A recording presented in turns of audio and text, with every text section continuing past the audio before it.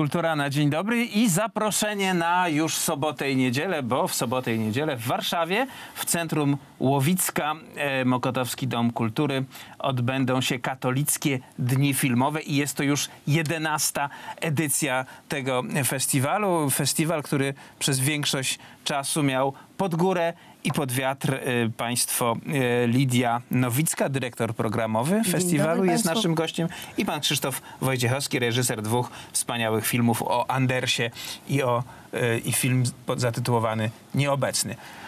Dzień dobry panu. Zacznijmy jednak najpierw od festiwalu i od idei tego spotkania. Y, Tak, początkowo moje pokazy y, organizowałam y, w kościołach, a y, wziął się stąd, y, taka inicjatywa wzięła się stąd, że y, byłam kiedyś zaangażowana w festiwal Niepokalanowski, Międzynarodowy Festiwal w Niepokalanowie i zależało mi, żeby pokazać dokumenty, które które niosły przesłanie prawdy, dobra, piękna, które, przesłanie wiary i patriotyzmu docierało do mieszkańców szerzej. I także y, mm, chciałabym, chciałam promować autorów, którzy służąc prawdzie y, nie mieli gdzie prezentować swoich, mm, swojej twórczości. Y, W 2008 roku za, zainteresował się tymi pokazami po kościołach, jak powiedziałam, pan poseł świętej pamięci Artur Górski objął patronat i zapewnił mi stałe miejsce w centrum Łowicka, na ulicy Łowickiej, na Mokotowie Warszawskim. No i odtąd Katolickie Dni Filmowe stały się takim niezależnym, stałym wydarzeniem y, każdego roku. Właśnie pod patronatem posła, no, w tej chwili y, poseł nie żyje, więc pierwszy raz będzie y, przejął patronat pan poseł Melak, ale także brat świętej pamięci Artura Górskiego, pan Patryk Górski. Y, I tak już ta tradycja trwa, y, 11 edycja. To jest y, duże osiągnięcie, bo to rzeczywiście y, służyło temu, żeby, żeby odsłaniać prawdy y, nieodległej naszej historii, y, często skrywane. Y, Przed y, anteną pan y, y, Krzysztof Wojciechowski opowiedział nam z, z taką wstrząsającą historię właśnie z tego festiwalu dotyczącą pana filmu. No właśnie, to było już parę lat temu. Pokazywałem tam film y, o legendarnym młocie z Podlasia, Władysławie Łukasiuku, który też jakiś czas współpracował przecież z Łupaszką w tej brygadzie wileńskiej, kapitan Łukasiuk. I nie wiedziałem, realizując film, w jakich okolicznościach zginął. Zresztą historycy z IPN-u napisali, że zginął w, nie, w nie, takich nieznanych okolicznościach. I nagle po projekcji wstaje pani na środku sali i mówi: A ja jestem córką tego, który zabił młota i mogę wam opowiedzieć. I mówi, że no niestety no, byli tak zaszczuci ci partyzanci, tak wymęczeni, że już po prostu doszło do sytuacji jak z jakiejś tragedii greckiej, że, że Polak zabijał Polaka, bo młot w imieniny swoje trochę sobie wypił i mówi chłopaki idziemy rozwalić, tam jest wesele, komuniści, gliniarze jacyś są, chodźmy im tam. A, a ci jego trzej już bracia dyboscy właśnie byli, było już czterech ich. Mówią, komendancie, ale tam jest 30 milicjantów, mają CKM, mają RKM-y, pepesze, jak? Co? Nie chcecie wykonać rozkazu? Złapał za spluwę i za, zastrzelił jednego z tych trzech chłopaków. No to jego brat zabił młota. No, no sytuacja, gdyby to rozegrać w filmie fabularnym, o którym marzyłem, żeby żeby go zrealizować, ale niestety za czasów y, panującego nam y, y, pana ministra Ujazdowskiego nie udało mi się to, bo mimo, że miałem dobre recenzje i to z różnych stron, od Ernesta Bryla bardzo dobra i od Wajdy bardzo dobra i od Agnieszki Holland dobra i od Olbryskiego dobra, który chętnie by zagrał młota, ale nie. Powiedzieli w telewizji, że oni mają swoich recenzentów. Co tam dla nich Wajda czy tam Bryl, to i się nie zrobiło, ale to był materiał właśnie dramat. Nie zabili go Moskale, nie zabili go e, Ubecy, nie zabili go Niemcy, tylko zabił Polak Polaka. No to to jest dopiero dramat. No niektórzy tego nie rozumieli. dramat tych czasów. Festiwal przypomina postacie i e, życiorysy. Ważny dla historii Polski. y, I to y, takie filmy o tematyce społeczno-historycznej prezentowane są w soboty. W soboty. Zwykle dwudniowy pokaz to, y, i soboty. Y, w- tej edycji y, pokażemy trzy filmy z, z festiwalu. To jest przeniesienie właśnie z festiwalu Niepokorni, Niezłomni, Wyklęci z Gdyni. Mm, Będą trzy takie filmy. Pierwszy z nich to jest Bitwa Wrocławska, która ukazuje okoliczności i przyczyny także największej manifestacji y, w Polsce czasów stanu wojennego.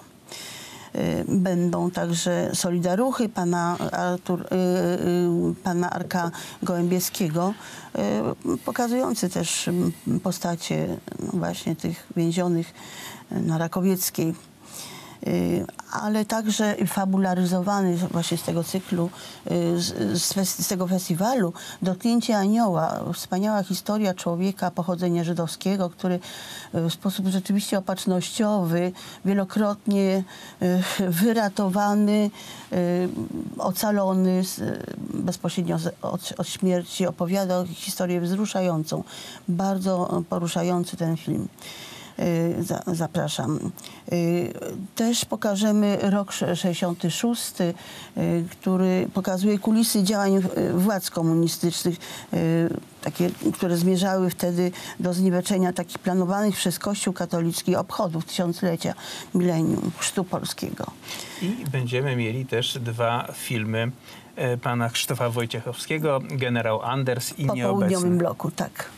Film Generał Anders. Najlepiej powie, zaprezentuje właśnie sam autor. No to jest. No ziściła się ludowa klechda, legenda, że wróci wolność. Na białym koniu przyjedzie generał Anders. No i on w jakimś sensie przyjechał, bo. y, no bo wszyscy przyjęli tę jego córkę tak jakby, jakby jego. Zresztą pani Anna Maria powiedziała, chłopaki, jak chcecie, ja mogę na białym koniu wjechać. Ale jakoś tego wjazdu nikt nie zorganizował, co, co ja przyjmuję z żalem, bo, bo po, po krakowskim przedmieściu pani Anna Anders powinna na białym koniu przejechać właśnie chociażby po to, żeby tą legendę ale, my, dopełnić. ale myśmy tutaj Pomysł tego, jest, państwo, którzy takie rzeczy organizują, weźcie pod uwagę. myśmy takiego ducha tutaj wymyślili. On się pojawia, salutuje szablą i znika. No to warto właśnie zobaczyć w filmie. Mm, Bo to jest też takie wydarzenie bardzo istotne ze względów symbolicznych, tak? Że, że córka żołnierza, który 100 lat temu walczył Tak, tak. o odrodzenie naszej ojczyzny, potem e, niezwykle bohaterskie przejścia w czasie II wojny światowej, dowodzenie z honorem i, i z wielkim szacunkiem u podwładnych żołnierzami, którzy za Polskę szli na śmierć, bo to, Tak. to jest ten wymiar. Jest w wolnej Polsce senatorem. No, cóż lepszego, tak? Można sobie Ale się wyobrazić. znaleźli tacy, co jeszcze nią tam napadli gdzieś, jak zwiedzała wystawę poświęconą jej ojcu. Przyczepili się gdzieś na prowincji jakieś grupa lewaków zupełnie nieznających historii albo Ale oni podpuszczonych. No. Często są to ludzie, którzy właśnie wywodzą się jakby z tej drugiej strony. E, A, jeszcze chcę zwrócić, bardzo mi zależy uwagę na tym e, krótkim filmie, bo to jest telewizyjny pułkownik, e, nieobecny. E, zatrzymał to pan prezes Andrzej Drawicz. Jeszcze wtedy nie wiedziałem, że to jest TW. To było, jak był rozbierany... Ćwierć wieku temu. Tak, pomnik Dzierżyńskiego. I ludzie, warszawiacy przyszli. O jak to cudownie, że tego łotra tu zwalają. W internecie ci, którzy tego nie widzieli, znajdą film, rejestrację, jak e, posąg e, e, Dzierżyńskiego wisi na linie. Przynajmniej w ten sposób Tak. można się było odegrać. To pokazuje pan Wojciechowski w swoim filmie. Jest jeszcze blok niedzielny, o którym już tylko dwa zdania. Niedzielne e, po- pokazy e, wypełniają przede wszystkim filmy z przesłaniem e, wiary, przesłaniem chrześcijańskim, z inspiracji chrześcijańskiej. Rozpoczniemy Żołnierz Niezłomny Kościoła pani Jolanty Hajdasz. To jest film, który pokazuje naprawdę heroiczną postać kapłana arcybiskupa Baraniaka, który pewnie niedługo będzie przez Kościół także uznany za świętego, za błogosławionego. Y, Kolejna pozycja y, to jest związana z jubileuszem y, objawień fatimskich, to jest wezwanie fatimskie. W tym mm, roku obchodzimy właśnie ten jubileusz, zapraszamy, żeby właśnie to przesłanie rzeczywiście usłyszeć. Będziemy to wspominać. Państwa zapraszamy na katolickie dni filmowe, które odbędą się w Mokotowskim Centrum Kultury ulica Łowicka 21 w Warszawie. Ja przynajmniej czuję się zaproszony. Mam nadzieję, że nasi goście Serdecznie również bardzo serdecznie Na dziękujemy pewno się pani. Państwo nie zawiedziecie, a w trakcie imprezy y, można sobie skorzystać też z, z, z obficie zaopatrzonego bufetu, gdzie można zjeść obiad albo jakąś y, przekąskę, albo na kawę. No i na to zapraszają Państwo pani Lidia Nowicka, dyrektor programowy festiwalu i Krzysztof Wojciechowski, reżyser. Bardzo Dodam jeszcze, że wstęp na, na, na wszystkie projekcje jest wolny. I to informacja niezwykle istotna. Dziękujemy pięknie. Do widzenia. Zapraszamy Państwa teraz na e, Polskę na Dzień Dobry. Za chwilę Bogdan Szafrański z uczelni Łazarskiego. Będziemy rozmawiać o Brexicie